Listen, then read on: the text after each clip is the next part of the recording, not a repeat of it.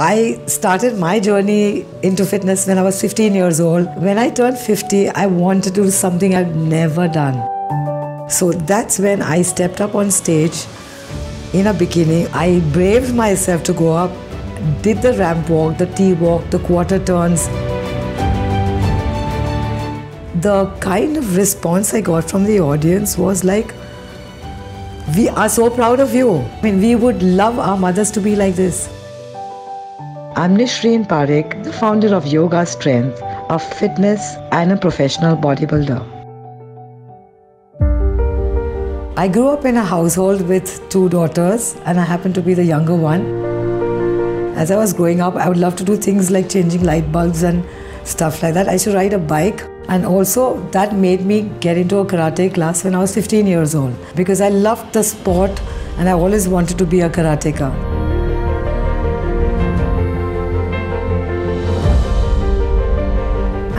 That was 1982. I got my black belt in 1987, and that entire journey through my those years of karate training was like at least 2,000 kicks a day.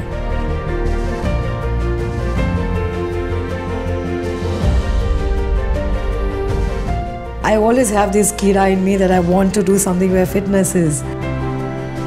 And I walked into Talwalkar's uh, at the Warden Road and I said I want to join as a student. And in my first class that I did, they caught me behind and they said, listen, you're not student material.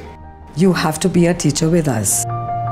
They just handed me a class and there I was teaching a class of 25 people, full class.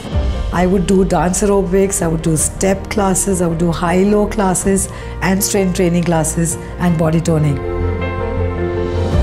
It was for a whole 14 years that I was at Talwalkar's, doing all the classes, making, like, being right up in the front, putting in my 100% and pulling out 110 from my students.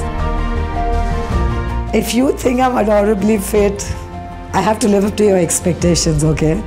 So I can't mess up there. I'm going to work really hard to be the adorable 60 also. This doesn't end here. And you're going to see me looking better and better because why not? It's one life we've got. Why would I sit back and not be my best when I can be?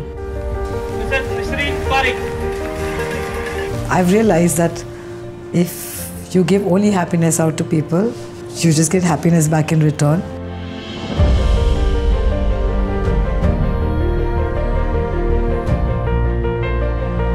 I have in laws in my house they are always in awe that, look, Nishriin, we are so proud of you. So that is what is my strength because I love what I do. I love the people who love me and I just want to return it back.